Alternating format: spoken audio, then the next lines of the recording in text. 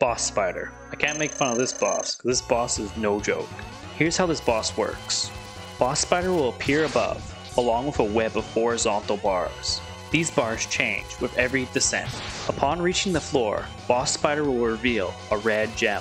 This is the only time X can inflict damage. The more damage X inflicts, the faster it gets. Bospider will always take the horizontal bars, and I mean always. Keeping this important fact in mind, we can predict the path this spider will take. Also, Bospider can stop and drop four crawling babies, which can really throw off your time. Shotgun Ice is Bospider's weakness. Fire Wave would make more sense though, as a spider of this size should be torched. Make sure to leave a like and drop a comment. Thanks, and I'll see you on the next one.